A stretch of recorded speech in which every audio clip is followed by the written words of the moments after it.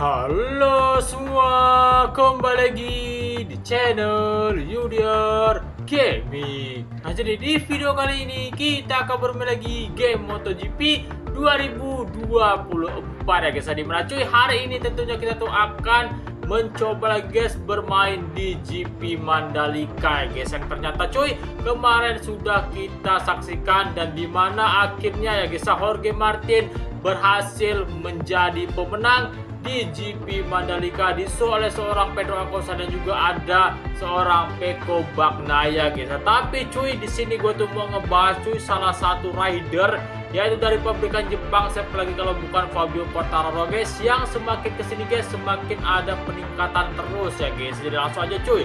Tanpa beberapa lama di sini kita tuh akan menggunakan seorang Fabio Quartararo lagi ya guys. Langsung aja. Di sini kita menuju ke balapannya. Let's Oke, okay, seperti biasa tuh di sini kita tuh akan balapan di GP Mandalika ya guys. So, how we go guys.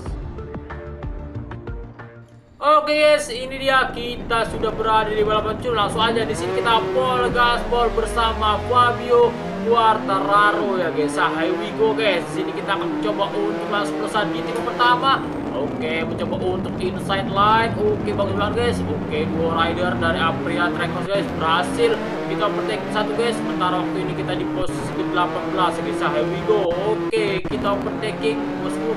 Oke, agak sedikit kita tadi. Oke, sedikit melebar guys di sini cuy ada seorang Alex Marquez tampaknya dari tim Racing Racing ya guys yang kemarin sayang sekali crash cuy. Dan kemarin itu mengakibatkan crash empat orang sekaligus ya guys sayang sekali guys tapi kali ini cuy.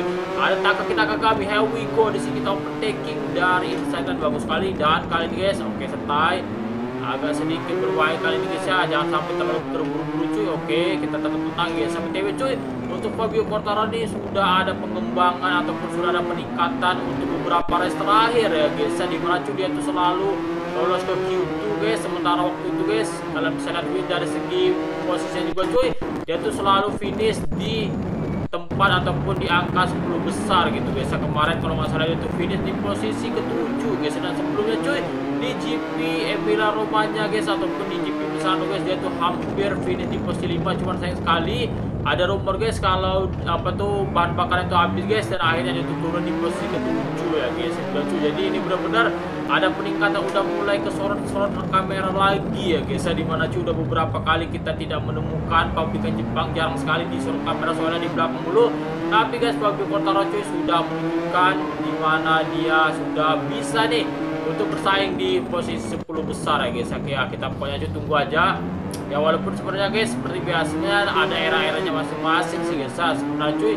Ya walaupun gitu cuman ya balik lagi terkadang mau nunggu di mana pabrikan Jepang itu kembali bersaing gitu guys. Kangen gitu guys dan kali kali misalnya cuy di sini kita sudah di posisi keempat saja bosku. Langsung aja di sini kita polgas depan. Kita ada Pedro Acosta guys. Kita mengejar cuy. We go. Oke kencang nih guys motor nih guys. Langsung aja di sini kita polgas mencoba untuk overtaking seorang Pedro Acosta tapi kali ini guys. Masih belum kali ini. Kita overtaking dari inside terlalu berbahaya. Tadi guys ya. Terlalu terburu-buru guys. Ya Wibo di pos ketiga bosku. Langsung saja di sini kita gas kembali. Oh di sini nampaknya kita akan coba untuk kembali menang. Nampaknya cuy.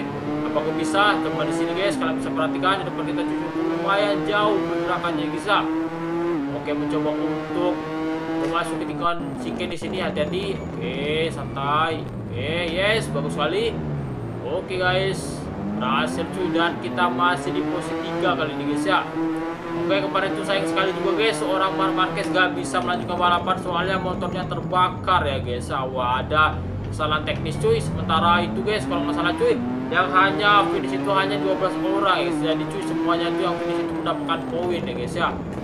Oke sementara waktu itu cuy di sprint guys sayang sekali Jorge Martin sudah leading guys. Cuman sayangnya dia tuh crash. Tapi untungnya dia tuh tidak crash. Gimana gimana guys? Nggak fatal cuy. Masih bisa mengendalikan dan akhirnya itu bisa akhirnya masuk lagi ke lintasan ya guys ya juga cuy. Oke langsung aja di sini kita polgas kembali di posisi ketiga guys. Oke oh santai. Jangan sampai terburu-buru. Oke jangan sampai melebar. Depan kita nampaknya ada Brad Binder ya guys ya. Oke kita akan gas lagi cuy. Jadi kemarin itu apa tuh memutus yang namanya kutukan di Mandalika guys. Di mana cuy posisi itu jarang menang. Cuman akhirnya kemarin itu kalau salah di MotoGP bahkan di Moto2 juga guys ya pole yang menjadi yang namanya pemenang ya guys. Ya langsung aja ini kita gas kembali ya go di sini kita akan mencoba untuk mengejar seorang Brad Binder. Oh Brad Binder kembali mendapatkan boost. Oke nah ini bisa lagi nih guys. Kita menang lagi nih cuy. Kayaknya bisa lagi guys ya oke here we go guys. Sini kita akan mencoba untuk mengejar kembali Brad Binder Oke mencoba untuk men-overtake dari inside line. Oke untuk bergerak ke Brad Binder Tapi Brad Binder tiba-tiba guys yang overtake kembali. Tiba-tiba saja guys mengkagetkan ya guys. Ya Oke kali ini guys kita jangan sampai ini guys. Oke santai di sini. Yes jangan sampai melebar. Oke here we go santai. Oh terlalu dalam malah Oke gak apa-apa kita akan coba untuk mengejar kembali seorang Brad Binder dan juga Peko Pengenayan apa yang di depan sana guys Oke go Oke, di sini kita akan coba untuk di last corner menuju ke lap keempat cuy. Masih berada di posisi ketiga kali guys mencoba untuk mentobing seorang Brad Binder lagi dan lagi. Apa tuh? Kita kasih push ya guys Bisa-bisaan gitu guys gak press tuh. Malah kekasih push gitu ya guys ya. Oke, ini kali guys. Kita akan coba untuk melawan coba untuk mengambil. Oke nggak bisa juga kita terus tapi kali ini guys bisa nih bisa nih. Oke bisa nih kita ambil inside line nya guys.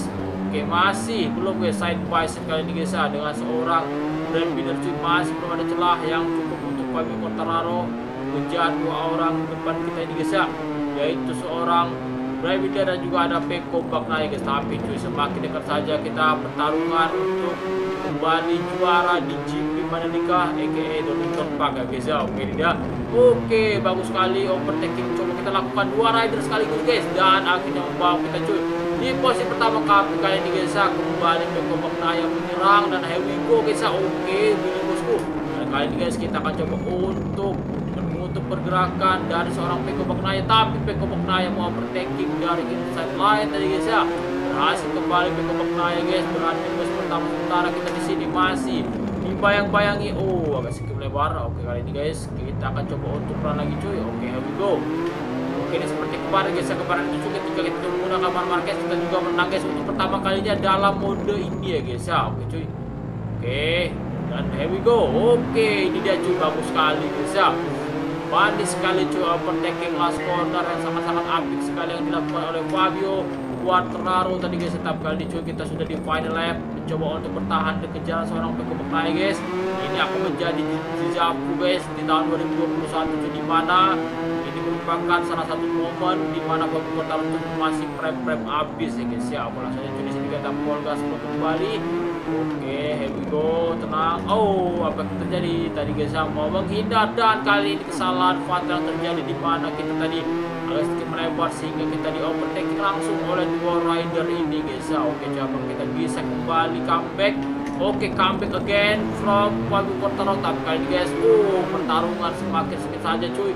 Di mana di sini Red Binder dan juga Peko Baknaya serangan yang sangat-sangat bagus sekali terjadi kali ini guys. Ya kali ini cuy kita akan coba untuk kembali. Oke okay, we go. Oke kita akan coba untuk mengejar. Dan kali ini guys kita akan coba untuk gaspol dan Oke, okay, line braking. Oke, okay, here we go. Kita tutup pergerakan mereka, guys. Oke. Okay. Oh, masih ada celah. Gue kira udah ketutupan yang namanya insertnya, guys. Masih ada celah cuy bagi Ayo, kali ini guys kita akan sedikit early braking cuy. Dan kali ini oke kita ambil mau. Aduh, aduh, aduh, aduh, guys.